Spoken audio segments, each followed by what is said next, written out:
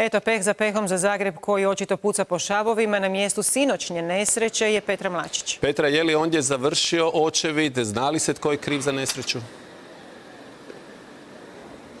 Je, policijski očevid je završio, zapravo su sve ekipe već otišle s terena, međutim policija je tek utvrdila činjenice, a pitanjem tko je kriv bavi se interna istraga Zagrebačkog holdiga, ona još uvijek nije gotova. U međuvremenu Frankovacka je u potpunosti sanirana, promet je e, već pušten i gotovo da ovdje izgleda kao da se ništa noćas nije događalo, ali i tekako se događalo i bilo je i tekako opasno. O tome je li se ovo moglo prevenirati, razgovaram, razgovaram sa bivšim glavnim e, čovjekom hitnih intervencija grada, gospodinom Pavlom Kalinićem.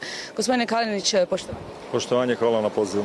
E, čuli smo danas da se slične intervencije događaju do 200 puta e, na godinu, međutim nikada nije došlo do ovakvog požara. O čemu se tu radi? Tko je pogriješio jučer? Je li moguće da netko jednostavno nije znao da tamo gdje kopa su i plinske instalacije? Što je moglo?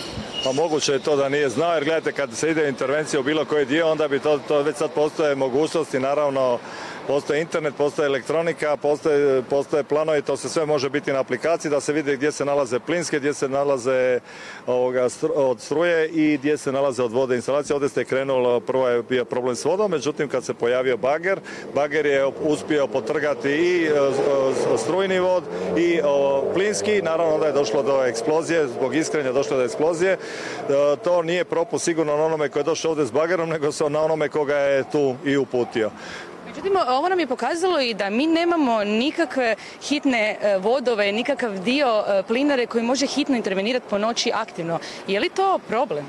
Pa naravno da je problem, svaka služba u gradu bi trebala imati svoju ekipu za intervencije, međutim e, kako vidimo u Hrvatskoj, a posebno u gradu Zagrebu, neznanje je moć, tako da je ono malo što smo imali kroz ured za upravljanje hitnim situacijama, to je u međuvremenu eutanazirano. Ali s obzirom na to da e, tog odjela plinare nema od 2014. jeste li onda vi prije radili ovakve intervencije? Mi smo to na svaku ovakvu intervenciju, međutim to sad više vidjeli ste da ni jučer nije bilo nikoga iz ureda, jer ured je praktički eutanaziran.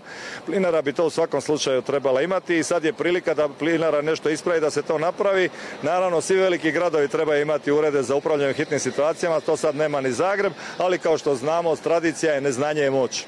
Ali pokazalo je ovo još jednu situaciju, te stare i dotrajale cijevi u koje se nije ulagalo, evo gradonačelnik je danas rekao oni će ulagati u to, stavit će novu mrežu, ali sedam godina ćemo čekati, sedam godina će pucat Zagreb po šavovima. E, gledajte, da li je ovdje nova mreža ili nije, to ne mogu reći, prije nekoliko godina ovdje je renovirano, međutim ovdje se ne radi da li je mreža stara, da li je mreža nova ili je prastara recimo od Franca Jozefa, radi se o tome da je ovdje bio potres i to nekoliko puta i sve te cijevi koje su u zemlji naravno da su preživjele određene pomake i naravno to je vjerojatno na mnogim mjestima rezultiralo i oštećenjima. A za sedam godina ove vlasti sigurno neće biti. Tko je kriv?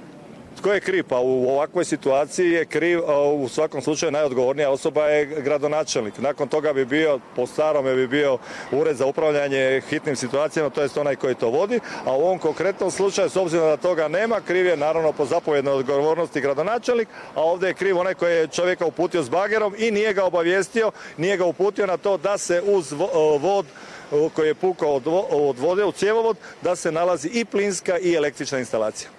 Hvala vam puno na ovom razgovoru, a mi se nadamo da do ovako nečega više neće doći. Ponavljam, eh, kada završi internu istragu o tome ko je zaista krivo, obavijestit će nas, pa ćemo i mi vas. Hvala Petri Mlačić koja je donijela i nove aspekte cijele ove nesreće u Zagrebu.